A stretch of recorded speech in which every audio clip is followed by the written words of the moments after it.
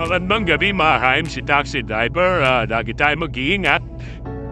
Traffic na naman. Yan ang araw-araw nating na sasagupas bansa at traffic. Yan ang nawawala talaga yung traffic niyan. Siyempre, MC taxi driver tayo. Kaya singit-singit. Pero lagi tayo mag-iingat mga guys. Nga tayo lagi mag-ar sa bawat biyahe natin. Lagi tayong di distansya o tayo lagi sa blind spot.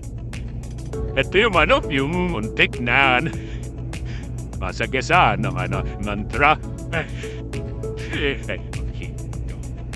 Kasi kung may si kuya sa ano, sa unahan mismo ng truck, blind spot na blind spot. Buti na lang ano, concern na mga tao rin na busina, bumubusina busina para mapansin ng truck driver na meron tao dun sa harapan niya. Kumakaway-kaway din yung mga natin. Sa, para malaman niya na may tao dun sa harap niya.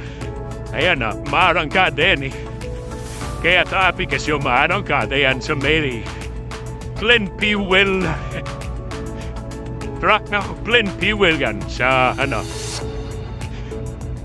Gonzalin siguro.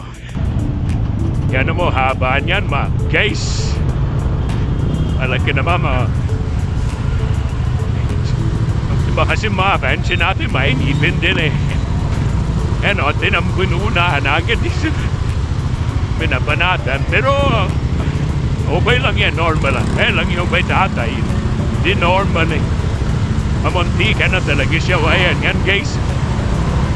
Yan, yan. Ay, si tatay o. Nakikita ang ipin sa bandang kaliwa.